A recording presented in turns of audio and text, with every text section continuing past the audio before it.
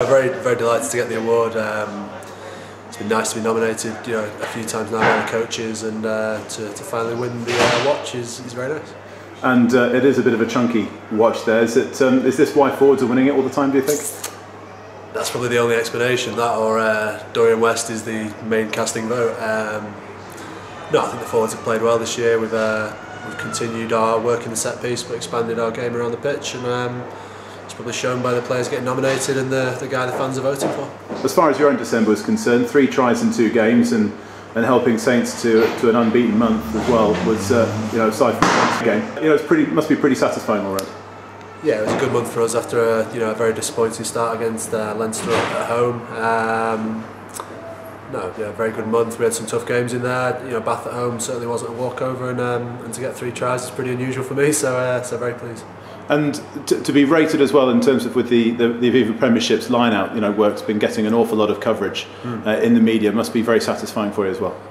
Yeah, I'm very lucky to have uh, the guys to work with around me. Some really good line out forwards and uh, some good hookers thrown in as well. And um, yeah, we're pretty proud of our set piece, full stop, and, and it's going very well at the moment. Ross, you must be delighted to get Clubman of the Month this month. Yeah, it's it, it's fantastic, um, but at the same time, it's been a bit of a hard one.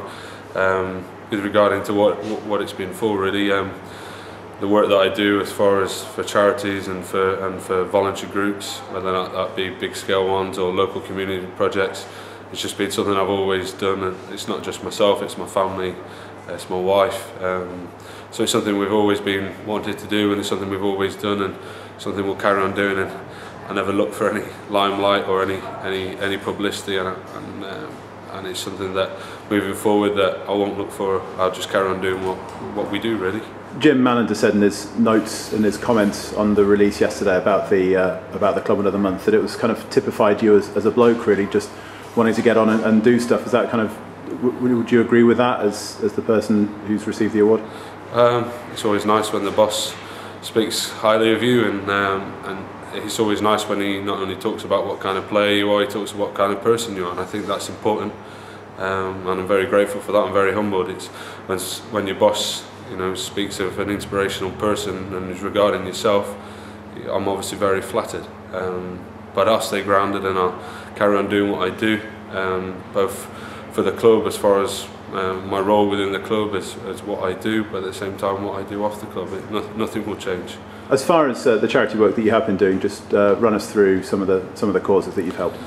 Well, it's been over a, a fair few years that we've, we've helped out various organisations. We've, we've always helped um, with Ronald McDonald Trust. It's always been something that's been massively close to our hearts. It's just stemming from my daughter, um, who was born, like the article says, with gastroschisis and were in hospital for a long time down in Bristol and I'd just joined the club at the time and the club were absolutely fantastic. They they helped me, they supported me uh, emotionally and they also helped me financially obviously employing me at the club and supporting me with a with a Range Rover that I used to put a mattress in the back and they would allow me to have special time off and um, and be with my wife and, and be with my newly born daughter that was in intensive care so um, I've always been grateful for that but at the same time we, uh, we we raised some money early on, and we've we just carried on doing various things. And this year's been no different. We've we've carried on, and we've we, I've done club dinners, and I've done uh, after dinner speaking, and all stuff like that. So if anybody wants an after dinner speak speaker, I'm there. I'm quite funny, quite witty, um, and I've got a fair few stories, as the boys will tell you. Um, so and all my all my um, fees go straight to uh, for the charity. So. Um, but yeah, we've, we've done lots and we've done work for Help the Heroes in the past. I did quite a lot when I was at Gloucester there, so it was still obviously fresh when I was youngster. Um, and then recently I've started doing a lot of work for leukemia research uh, and for various other leukemia projects as, as well as cancer research.